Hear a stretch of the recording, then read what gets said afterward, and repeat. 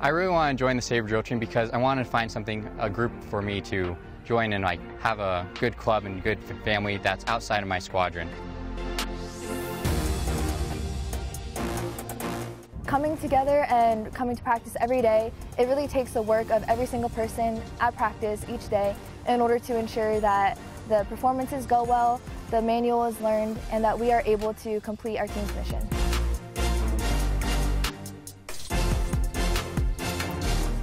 Some of the manual that we teach roots all the way back and has its origin from those original team members in 1961. Cadences, the performances, and just the overall team culture has stayed constant. One of my favorite ceremonies that I was a part of was a wedding last year. Being able to perform a saber arch in front of them is such a beautiful moment and it's wonderful that the saber drill team gets to partake in many of those.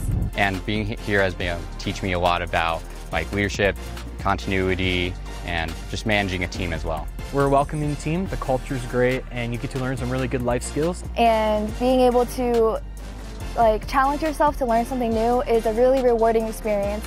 And being a part of the team for all four years, you can really see the growth in each team member, and we love that.